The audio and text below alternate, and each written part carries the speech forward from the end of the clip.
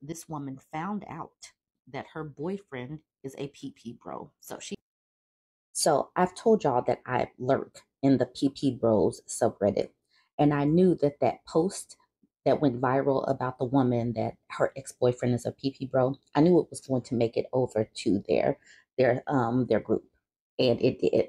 Okay, so this man says about nine days ago, a post about a Central European woman who has been dating a Western man in her country for work went viral on Reddit. Recently, she snooped and looked up his internet history and found out he was looking up information on PP Bros in locations where women were traditional. For some reason, this triggered her and caused her to break up with him. Personally, I believe the story is fake, but that's beside the point. The real issue is the thousands of negative comments about PP Bros and the PP Bro movement filled with Fritos, misogynists, um, sex tra- um, traffickers, and rapists. Many have claimed that they will make it their mission to get every Passport Bro subreddit removed. Personally, I don't want PP Bros subreddit removed. I want them to continue to talk so that I can just share what they're saying. This is why we do not allow any negative comments about women or men on this subreddit. There are people who are ready and willing to use any measure to get this subreddit and the PP Bro movement shut down. Please take this in, in account before you post or comment. And like I said, I don't want them silenced. They need to continue to talk so that other women in other countries can be aware of what is going on. So, for some of the comments in this thread, this person says there are way too many posts bitching about Western women. If a PP bro tries dating overseas, he'll instantly stop caring. I prefer non Western women, but that doesn't mean I hate Western women. I respect their standards and behaviors. If they want their man to be over six feet tall and earn six figures, that's a legitimate standard. Even though I have neither of those qualifications, I wish these women the best and hope they find someone like that. And the OP responds with the problem is that too many guys here never do, as far as like go on trips. Um, they just continue to whine about Western women, which causes trolls from feminist subreddit to invade your space or our space and destroy the quality of our subreddit and move. Just know I don't ever comment on their posts ever. I lurk in their spaces. I don't talk or pet like you know give any opinion on them. I just screenshot, take their words, and then share it with y'all. This person says, I think the most hateful comments towards women on here come from men who never travel abroad nor intend to. They're LARPing essentially, and LARPing stands for live action role playing. So they're just acting like they're PP bros, but they never actually go anywhere.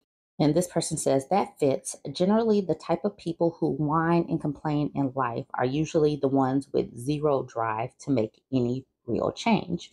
So these these PP bros are like, look, go out, live. If you want to date these other people, just go date them. Quit talking about the women that you don't want. But the Red Ranger disagrees. He says, We aren't whining about Western women. Most of the posts you see here is actually the opposite. We recognize that they have their standards and we want no part of it and go elsewhere. We recognize that out there is better in every way. So we make a decision, a costly one at that to travel away. We plan, ask for advice for the best spots, the most beautiful beaches, the best living conditions. Some even try and learn the native language. We're culturally enriching ourselves. And even better, they should be happy we're leaving, but yet they constantly berate us. Why, you wonder? They call us PP bros. They call PP bros every disgusting name in the book because if enough people do it, the Western women start to see that they're no longer wanted. It's simple supply and demand. It's a movement that gives back power to the PP bros to go into other um, countries that may be underdeveloped with lacking resources to be miniature colonizers of those women and um, get a patriarchy on a budget. That's what they want to do. Be patriarchs on a budget because they can't fulfill those um, roles here and live up to those standards here.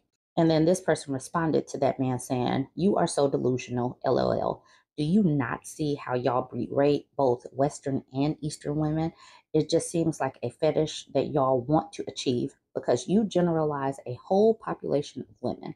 Not every woman outside of the West is weak or submissive. In fact, you do them wrong, you'll be put in your place very fast. Just seems like you live in a bubble and have never dated outside of the West if you really think this ridiculous way. Being submissive does not mean you'll get away with wrongdoings. Okay, this person says 100% agree. I hold no qualms with Western women. I feel like there's pros and cons to dating Western women and women from other countries. There's lot there's a lot of people I think that are consumed with the red pill conversation that consume dating and the social sphere. I feel like a lot of that has become intertwined with PP bros and is being seen as the image. I agree. I see a lot of PP bro and red pill conversation that just is squished together. Okay, so then this person says agreed. I want to say international dating is ruined, but I don't know if it was ever good. So many guys on here have this mindset of them going abroad, and that's going to show the Western women um, somehow, and they will suffer and realize how good the guys were. LOL, kind of like a revenge fantasy. I think the people on this sub lack self awareness because anytime you try to discuss the issues, they seem to deflect and go for no true Scotsman's fallacy, aka no real passport bro will do, say this, only the fakes do the thing that you called them out on. So I just wanted to let y'all know that the PP bros were having a discussion amongst themselves. And y'all know, like I said, I don't talk on these threads, I just report back. Y'all let me know what you think about this one for the longest time, Black women have always been the scapegoat where it comes to the out of wedlock rate, single parent rate. It's always been laid on our feet. And they've been able to get away with it for decades because their marketing was just better. Um, black women have the stereotypes, and the stereotypes are negative. And so these these Ashgardians were able to go to the white women and let them know that they were so much better than us. And they used that anti black woman sentiment to triangulate with those women. And those women were just like, yeah, I got your man. And then look, now who is becoming the biggest chunk of single mothers? Who is becoming? So they ran through that subcategory. And then they started going through other non black women as well. And the biracials of TikTok are show are telling the story. Now we got the passport bro movement. And so they have aren't many bridges. The single parent rate is still climbing. And black women know that it was not just all black women that are at fault for this single parent phenomenon. We know.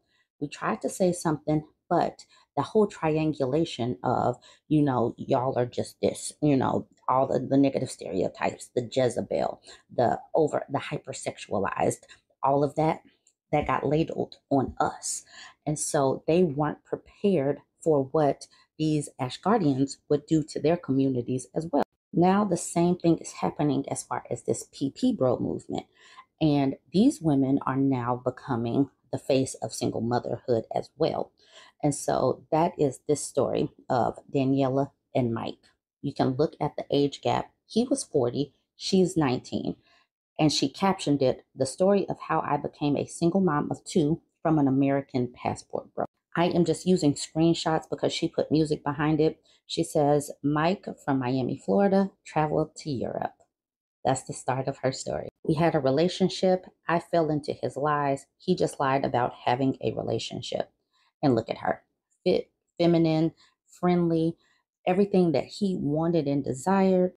She says, He made me pregnant at 19, gave birth at 20, right after first baby, became pregnant again, gave birth to a second baby at 21.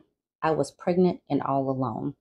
So, this is the reason why they go for that younger demographic because they are not prepared for the game that older women might already recognize. This woman probably thought that she was special. She probably wasn't ready for what was going to come down. She wasn't prepared for the games. After two kids found out he was a passport bro who made relationships in America and all around the world, and I was just one of the girls he talked to.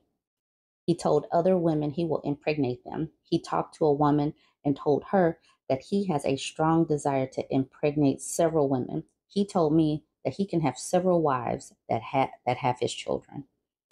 Okay, she says that he abused me emotionally and physically. I told everything to his mother, and she defends her misogynistic woman abuser son that she raised. He also financially abuses me and our kids. So, this is the TikTok creator if you want to go to that post. So, for some of the comments, this woman says, Can I ask you a question? Did no one warn you about black men? They're pretty notorious. They do this to all women. It's so sad. I'm sorry. And Daniela said, No, I had no info, no expectations. I thought we were all the same, pretty much. It's the 21st century and accept all cultures. And Petra says, I see. I'm a black woman and would never date them. They are brought up to abuse and discard women. Unfortunately, that is the culture. Listen to the music. Black women have been saying these things, but for whatever reason, our voices get muted because the stereotypes about Black women being hypersexualized run rampant. We're at fault for all of these things. This person says the first red flag was the age gap. These PP bros travel to other countries because they can't fool the women in their countries. And then she says, I only found that out later. And then the woman says, Women their own age won't fall for their crap and they have their own money. So they go to Asia and Eastern Europe to get feminine, submissive girls. And, you know, let's put emphasis on the word girls. They do this on purpose. And then after they drop two babies in them, then those now women get labeled as used up. They get abused. They get talked about. So another post that she made, she was like, beginning in 2023, husband kicked me and two babies out of his house. That's one of the issues. And that's the reason why they don't like feminists. They don't like feminists at all because a feminist could get on her feet. They bring these women over here. They have no control because they're not controlling um, their finances. They're in a new country. It, it would take a lot more for her to rebound than getting a grown woman who has a job and has support. End of 2023, single mom of two. So basically, she was treated the exact same way despite being fit, feminine, and friendly. They get the same person, they get the same treatment. And these stories need to get put out there. There needs to be some kind of awareness in these other countries. And, you know, this really does kind of vindicate what Black women have gone through because Black women have been shouting this from the rooftops but we just get labeled with negative connotation of bitter, angry, masculine, all of that stuff. But you guys go ahead, weigh in. Let me know what you think. Don't forget to like, comment, and share.